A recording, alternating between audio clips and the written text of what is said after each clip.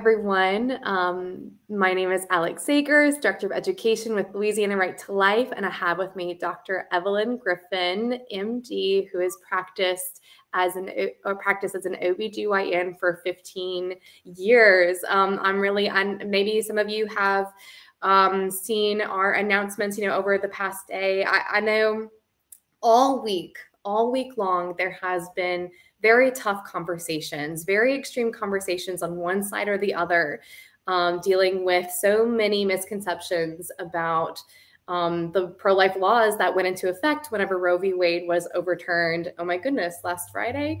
Uh, it has been quite a week. Um, and I just want to reach out, you know, to everyone who's watching us and say, look, I know things can be confusing. Some of us are really excited and and we're celebrating, and I know so many people out there um, are you know devastated in so many ways and anxious and scared because we're seeing so many polarizing conversations and people are making all kinds of claims of the kind of help that women will be able to get depending on the situations that they're in. So I want to say that we're here for you. We're here to help kind of wade through these conversations. We're here to help be a resource. We're here to help plug women into important pregnancy resources that they need. Um, there are people all throughout Louisiana, organizations all throughout Louisiana that are willing to walk with moms in their pregnancies, whatever their situation may be. So we're here, we're here to be a resource for education and a resource for services for women. Um, but today we're gonna have a very focused conversation. So here with Dr. Evelyn Griffin, um, we're gonna address certain specific misconceptions dealing with, um, so to speak, the life and the health of the mother in certain emergency situations. Um, and to also overlay this, uh, you know, there's a, one of the things that Dr. Griffin and I were kind of discussing it leading up to this is wow, the medical and legal terminology can be very convoluted. And some people seem to be convoluting it on purpose, and some people seem to be accidentally interpreting it in a lot of different ways. And I know personally for myself, um, I look at this and think, wow, society has really failed women for well over 50 years.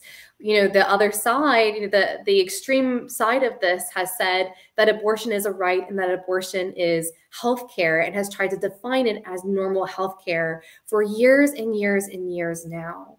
And so no wonder whenever we're getting down to the brass tacks of medical and legal terminology we're very confused as to where the word abortion truly and appropriately does lie um, within within healthcare. Um, so that's something that's fascinating. That's a narrative that has been pushed for so long that we are now in the throes of just really breaking down as a society and coming to understand what that actually means. Um, and we'll be finally able to work toward a really great future where women and girls will be accepted in the workplace, where there'll be actual progress of um, of their healthcare right. So that that's the exciting part for me but again we are here for all of you who are who may be sitting um, anxiously uh, with all the news going on. So um, as i said before for all those people who are joining my name is alex sakers i'm the director of education for louisiana right to life and i've been working here for about seven years now. Um, and dr griffin i would like you to go ahead and introduce yourself and say a little bit about yourself and your practice well, thank you, Alex, for having me. I am a board certified obstetrician gynecologist, and I've been working for 15 years as an OBGYN in Louisiana. And so, thank you for having me here. I'm a big believer in education and mm-hmm. um, knowing that arming yourself with knowledge is power, and it can be powerful now to have that type of education in these confusing and fearful times. Absolutely. Thank you so much for being available and being so awesome with us. Um, to start this, you know, off this discussion, you know, the especially um, other OBGYNs, you know, throughout the country have been putting out statements as well. And we look at, you know, the American College of Obstetricians and Gynecologists, they put out a statement, you know, that kind of seems to feed a lot of this convolution going on.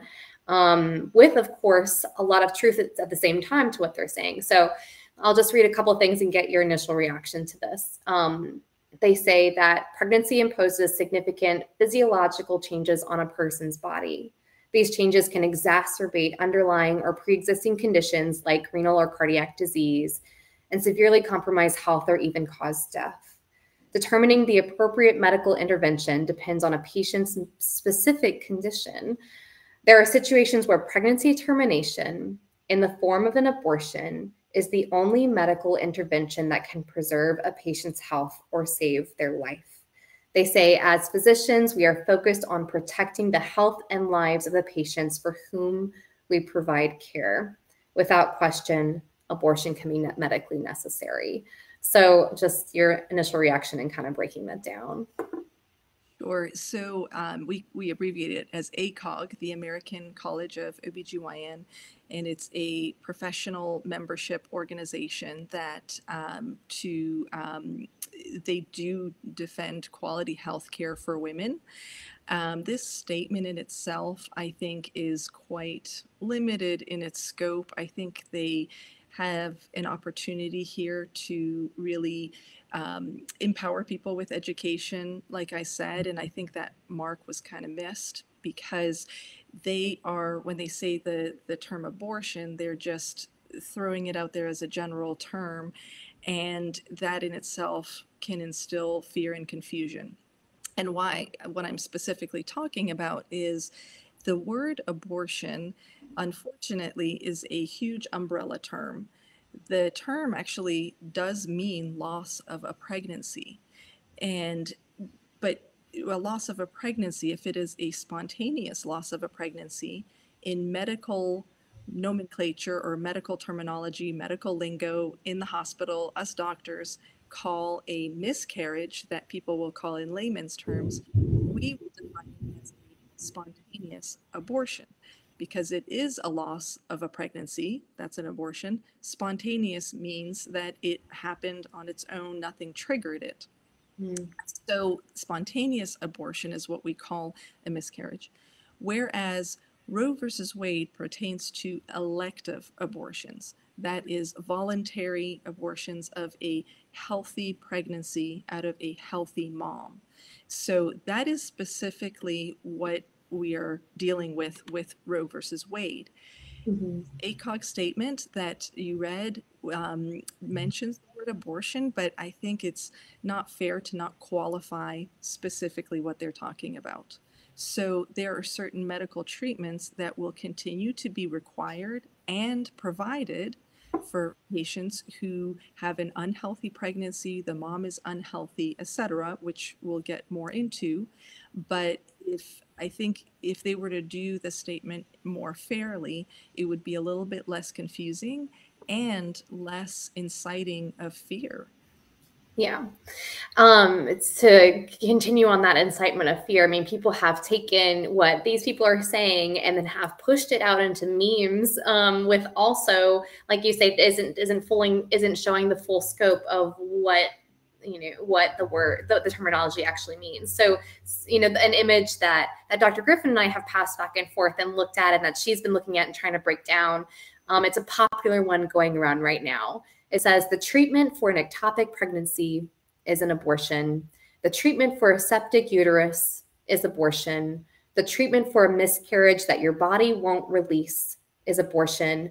If you can't get those abortions you die and it repeats again, you die. Um, what's been as a doctor, you know, seeing that go around? What's your initial reaction to that? My initial reaction was fear and confusion, just like anybody else. Um, in addition, because I, I know the definitions and what's really happening better, um, shock was was the uh, number one feeling because I really didn't see this coming as the reaction and response to the overturn of Roe versus Wade, that um, the truth, meaning medical definitions, could be used and twisted around to incite fear. Um, even if you don't know what's going on, you know, a, a, tweet ending with you die is going to incite fear. So right. before I get any further into this, I will appeal to everyone to kind of check their emotions and check their instincts any type of tweet or post, if it is trigger emotionally triggering, kind of mm-hmm. do a self check and say, what is this uh, tweet or post trying to get me to feel or believe? And before you share it, do a little research and um, and sure it's hard to find what sources are reputable but if you read the next source and the next source and you find that okay this isn't emotionally triggering it is actually very educational instead and lets me make up my mind go with that go with that feeling. But mm-hmm. if it gives you a negative feeling and you know follow your instinct that's you know something that is very powerful. So and then ask questions. If it doesn't seem to make sense ask questions.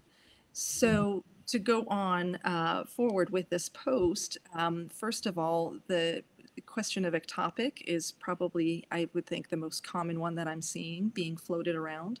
So, an ectopic pregnancy is not a healthy pregnancy. So, we are automatically right there not dealing with an elective abortion for an elective, healthy, viable pregnancy. So, an ectopic pregnancy is a pregnancy that is outside the womb. It most commonly occurs in the fallopian tubes. And mm-hmm. if it continues to grow, it in itself, it will perish because it is not in an area that can continue to survive. So the pregnancy itself at some point will pass away unfortunately, along the way, it can rupture, cause bleeding, internal bleeding in the mom mother's body, and that can lead to risking her health and potentially death. So it needs to be treated. It needs, there's a medical necessity to treat that. And it is treated by either medications or surgery. And then that overall care or procedure is called treatment of an ectopic pregnancy. It is mm. not called an abortion. Wow. And in fact, I will even say that um, Planned Parenthood on their website even clarifies that.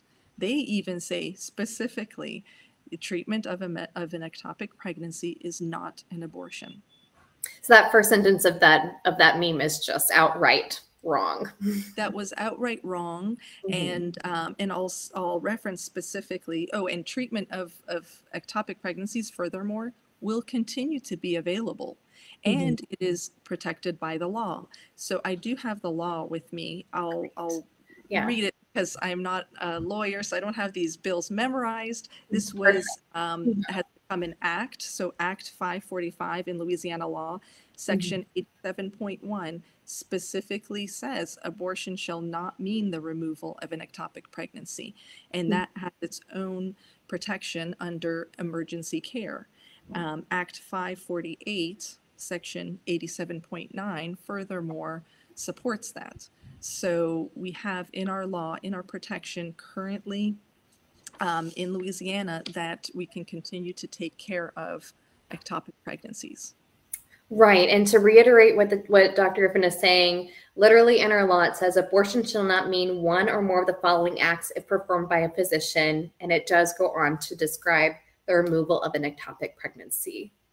Um, so yeah, what is so next on this meme? Um, I think it was the mention of uh, septic uterus, right? Am, am I correct in that? Yeah. So um, tell me your thoughts about that. Septic uterus is uh, an infected uterus. So infection in the uterus if this infection goes into the patient or the mother's bloodstream, it can then cause overall sepsis. So, infection of the whole body, and that uh, then risks all organs, risks death. And so that is something that thankfully is rare, but can occur. Now, it is exceedingly rare to occur in the setting of, a, of an early pregnancy. If mm. it were to very often, this does uh, occur at the same time as a miscarriage. But if the tissue were to be viable and it looks like the woman's health is um, at risk, first antibiotics are mm. tried. Mm. And then, if that doesn't work, then the next uh, thing is potential surgery, including a hysterectomy. So that would lead to removal of the uterus, which would lead to removal of the pregnancy.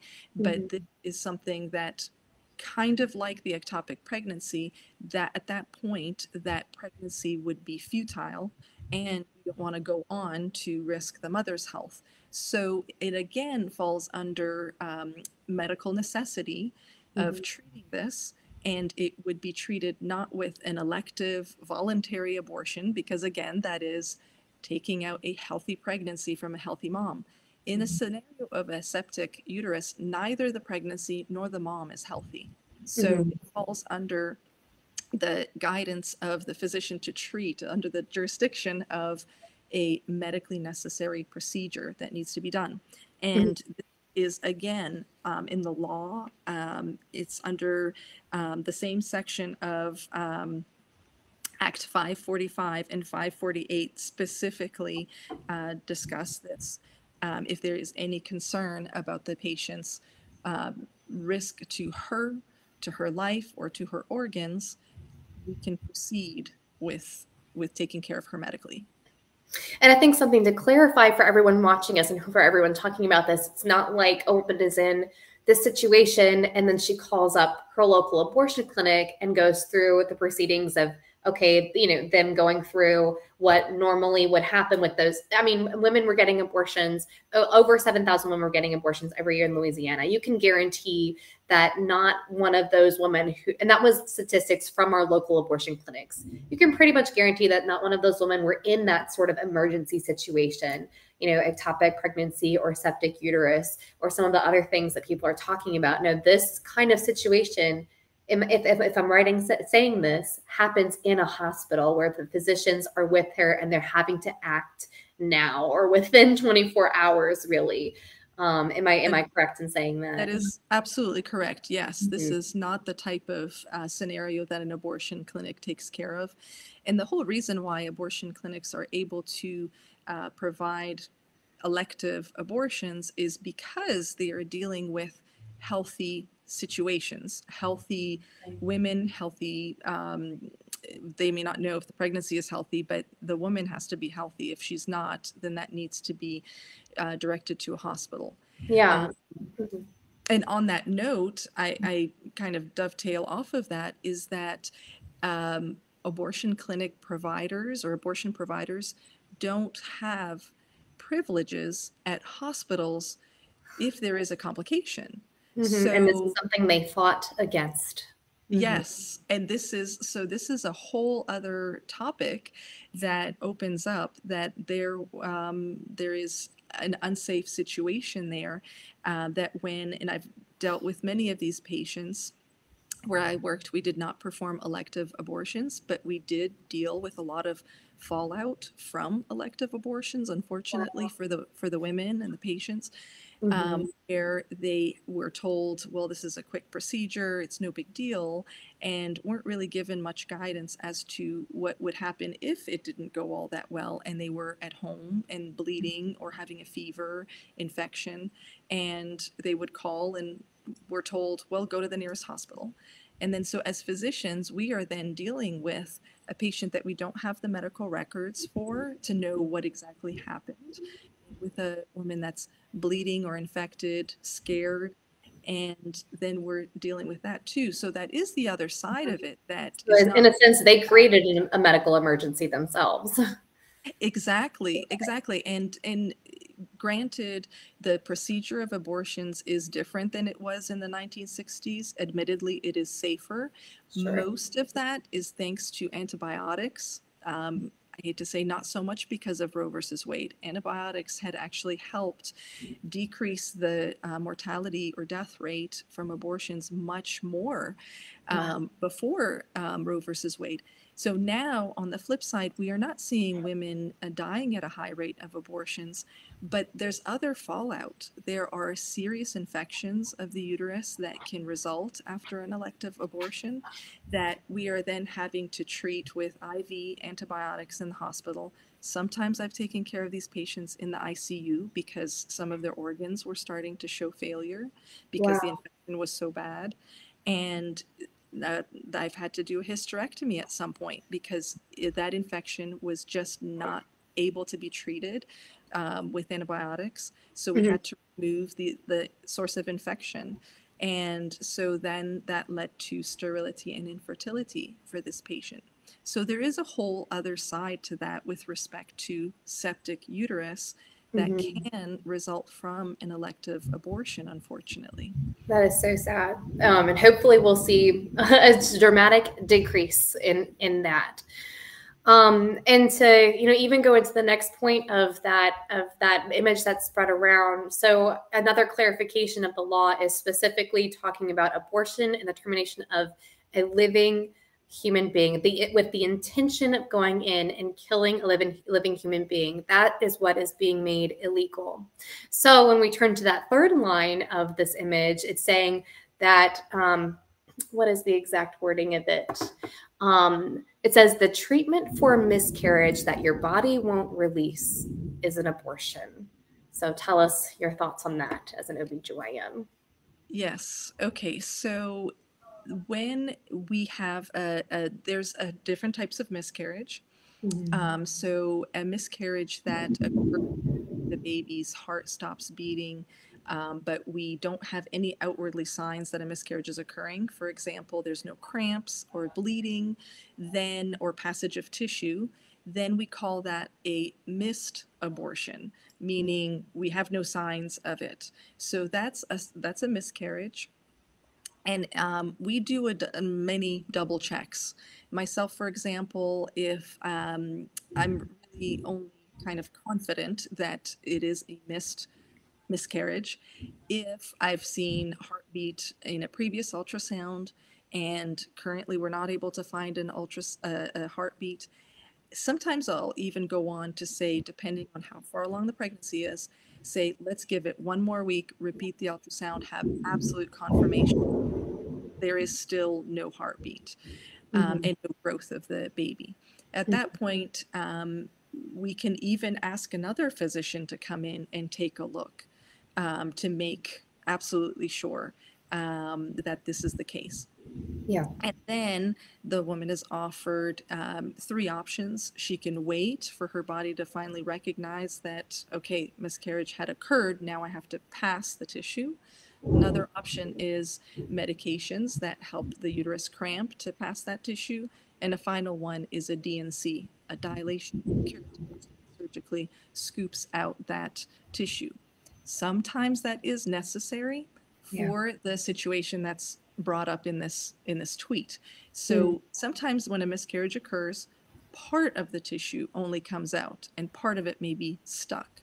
And mm-hmm. the uterus keeps trying to get it out and if it can't, sometimes what uh, leads it leads to is either infection and a little bit more often bleeding. So if there's bleeding, we have a thunderstorm. Yeah, there's a thunderstorm passing over. so if there is heavy bleeding, Mm-hmm. Then we do, the, we take the patient, and whether that bleeding's from having had an abortion or having had a miscarriage, and you know, in either cases, tissue can be left behind. And mm-hmm. that can happen in an elective abortion where not all of the tissue has come out or been removed. Yeah. So, in those situations, that is again not a healthy pregnancy. And now it's not even viable, it's dead tissue right. in a mom whose health is being risked. So we're back to this being not an elective situation. It's not an elective abortion. It is going for a medically necessary dilation and curettage. Right, and, that, and and people were were very concerned about the regulation of D&Cs when and that will be con- uh, continue to be allowed. It continue right. to be provided. Mm-hmm. Yeah, because people are because for so long the conversation, you know, on the national level of D&C and D&E, eh, you know, all of these different procedures that do have appropriate places, absolutely, have now been mostly talked about in the media and uh, in, in terms of women's rights with an abortion, with the killing of a living human child. So that's where we need to separate it again and come down to those brass tacks again. D&Cs are appropriate medical treatments, um, whether that be in a miscarriage with uh, a past or, or passing child, um, or in any other removal of, of any other pathological, you know, occurrences within the uterus, right? Am, am I correct in saying that? But we're saying mm-hmm. now you cannot use them on a living human being with the intention to specifically kill that child. That is correct, with the qualification of a healthy pregnancy in a healthy. Mm-hmm. So, so the specific um, situation or exceptions here are if, uh, let's say, the pregnancy itself is not healthy. So, mm-hmm. take a molar pregnancy, for example, right. the being mm-hmm. an unhealthy pregnancy that could also affect the woman's health mm-hmm. um, forward. That is again going back to this being not an elective situation, mm-hmm. meaning if goes back to medical, medically necessary to treat that, Mhm. and that it will continue to be provided. Mhm. Um, so specific, again, going back to law, um, if anybody needs to look at this, whether it's the public, you know, the audience or providers, sometimes are this. If you look at Act 545 and Act 548 in the Louisiana law, this is what spells out for us what is allowable. And in section 87.1, subsection 2, it says removal of a dead unborn child, whether it be that complete miscarriage, um, missed miscarriage, inevitable miscarriage, or you know, abortion is the other word. So incomplete abortion, inevitable abortion, spontaneous abortion, it Right. will continue to be allowed for us to take care of these patients. Mhm. So, and uh, you know, I I wouldn't think twice. It's the ethics of how to care for these patients. So, if I can reference another uh, part of that law, Mhm. specifically, I guess what what um, you were talking about as well, Alex, is uh, delaying in emergency care. That's another thing that has been coming up on uh, posts and social media scares is that well, we're going to have so many women dying now because care will be delayed because in an emergency situation the doctor is going to have to talk to a lawyer and an insurer not at all we cannot deny anybody care for insurance status that's actually against um, it's a violation of medical practice. And then um, ethically you can you cannot delay care if you have if a second opinion is required, then that may mean that the diagnosis is not exactly clear, the patient's not in a dire emergency where you have time to get that second opinion, or maybe the physician doesn't have a necessary set of skills. Uh, for example, just say if a um, obstetrician happens to have a, a bladder injury, for example, Mhm. and uh, they typically don't deal with bladder injuries. They may, if it looks like it is safe enough to wait for another doctor, a urologist to come in, you can get them to come in. Um, but back to the diagnosis of, let's say, is a pregnancy viable, but the woman is bleeding to death? Mhm. medically and ethically, most physicians should realize that, okay, if I don't take care of this, I will lo- lose both lives. Right. You know, so at that point in time, you take care of what would be needed to be done. For example, a dilation and curettage to prevent that patient from bleeding to death. Mm. So, and so if anybody needs to reference this, please look at Act 545 and 548. Mhm. Absolutely. Well, um, is there any other, you know, situations that you come across? I, I know there was some that have been discussed, such as um, when a woman has. This is a this is another popular one. Whenever a woman has has cancer, has been diagnosed with cancer, um, I think there's this question coming around of, okay, is abortion required for her to um, undergo chemotherapy or radiation treatment? Um, and I'm pretty sure the Yeah. answer is no, it's not required. So a uh, elective abortion is never required. It can be offered, and then it's patient who decides if they want one or not. So um, these types of abortions are are done. These types of elective abortions um, for a medical necessity, let's say for women's well-being, for her poor health, for example, that is done um, in a hospital hospital, so abortion clinic um, doesn't do these and shouldn't do these because it is way out of their scope. They don't deal with medical problems. They deal with very simple elective, um, elective abortions, elective, uh, you know, voluntary um, terminations of a pregnancy in the setting of a healthy mom. Mhm. If the mom is very unhealthy, then that should be taken care of in a hospital. So hospitals have um, reg- a regulatory requirement by CMS to have some type of ethics committee, and it's not specific for just abortion. It's there's many other ethical issues in, in medicine, but that ethics committee will then decide and if this is appropriate to offer the patient, the mother, an elective abortion. And so it's it's very well organized where physicians have to get together and decide what is the medical diagnosis of the mother's health, what is her the medical concern if the pregnancy were to continue, will the pregnancy exacerbate or worsen her condition to the point of risking her organs or her life? And if that's the case, then they come to a decision to offer the patient an elective termination of that pregnancy. Hmm. And then the patient has that choice to make um, if they want to proceed with that or not. Mm-hmm. And that's going to continue. Hospitals will continue to be required to have these ethics committees.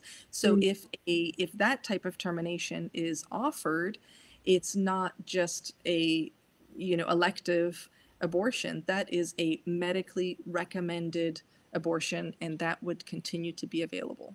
Interesting. So that will be an interesting conversation that continues as we see cases come, I'm sure, in Louisiana. And um, I know a lot of people have said, have asked, okay, well, is it, you know, as a pro life person, if I say I do not want to have an elective abortion, but I do have cancer and I do still want to receive um, radiation, you know, chemotherapy, sometimes they ask, is it is it moral for me to receive it, even if it has a chance of killing my unborn child? Would I be killing my unborn child by receiving um, chemotherapy that increases a chance of that.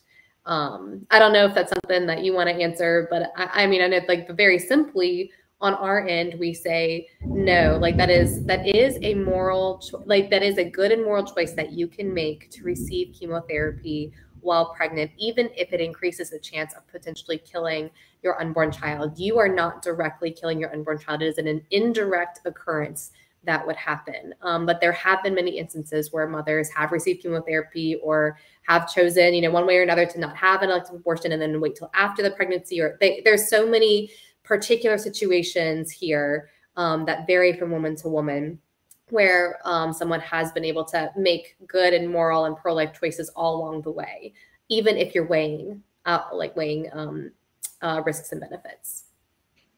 Correct. Yes. Well, there's so many nuances to this particular scenario, right. uh, specifically in the various um, ways of administering radiation therapy and locations, and then a huge host of different types of chemotherapy, a huge host of uh, side potential side effects mm-hmm. to the patient herself and to the baby that um, those situations are quite individual that a woman can uh, make that decision with her physician and in, in investigating all of the um, potential effects of that medication. So um, luckily those situations as tragic as they are they're they're not as common but when they occur um, the woman still does have her uh, right, absolutely, to make that decision um, mm. to, to not terminate the pregnancy. Absolutely. Mm-hmm. Well, um, for anybody who you know has been listening this whole time and wants to continue doing research on um, on these topics or on these situations, is there anywhere that you would recommend pointing them toward? Yes, absolutely. Thank you for bringing that up. Um, for women who may find themselves pregnant, there is unfortunate, you know, unexpected um, situations in our life. There's two centers which are a wealth of resources and wonderful support. One is uh, the Women's Health Center.org, and women's is spelled W O M E N S. So the Women's Health Help center.org that is in Baton Rouge. Okay. Another one is womansnewlife.com. That's W O M A N S, womansnewlife.com, and that's in Baton Rouge and New Orleans. Um, mm-hmm. Two wonderful resources to go to um, that that are helpful, and there's lots of resources that they can uh, women to throughout the state for support um, that they can go seek. That's wonderful. Well, um, Casey, has there been any sort of questions at all have come up in our live, or if people just been listening and hearing everything that they needed to? listening and appreciating. I do both, sure. Well, that's wonderful. Um, so we haven't had any questions today, but I know that there are so many different misconceptions out there. Um, so a vast majority of things that we could have been discussing today, but this is this is um, the kind of barriers which we put our discussion in because there's so much. We just really want to break it down. So I just want to let uh, people know who are listening, watching this, that we will probably have Dr. Griffin on again, um, maybe in another session or a couple of other sessions after this. And if you have any questions following our discussion, please email me, alex at prolifelouisiana.org. And Louisiana to Life will be happy to answer you and send you some resources and links for more information. We can also forward your questions on to Dr. Griffin, who has graciously joined us. Um, also, I think we'll go ahead and put in the comment section um, a link to the pro the, the law that we have, the trigger law that had been on the books that is now in effect. Um, you know, now that Roe v. Wade is overturned, and this is called the reaffirmation of the Human Life Protection Act. So please, like um, like Dr. Kier mentioned, do your research. You know, if you have, you know, some feelings that have come up from uh, these posts, and you really need to dig in and, and, know how to either answer people who are who are feeling these fears, um, or you're just like, okay, I really want to be as as medically accurate and pro life as I can possibly be, and I want to understand these situations click these links, read the law, read more, ask us questions. Dr. Evelyn, thank you so much for joining us today. This has been um, an amazing discussion, and, and I hope it's the beginning of many more. I agree. And I encourage people um, just to feel inspired by the miracle of life. It's okay to find joy in that. And I've seen that as an obstetrician gynecologist at every uh, stage of pregnancy unfortunately in losses as well and uh, throughout birth. So it's it's okay to be happy with it and and celebrate it. It really as um, much into the thick of the science as i am um, it is a miracle to have so many you know correct uh, DNA base pairings that will then lead to a full complex and caring organism. And I really don't see any moment in time from fertilization onwards that if you interrupt it, we can't turn into you and me. So yeah. I truly wow. think hmm. um, there is a miracle to it all, and it's it's to be celebrated. So thank you for having me, Alan. Thank you. Everyone else, please have a wonderful weekend and a good July 4th and safe July 4th. Bye bye.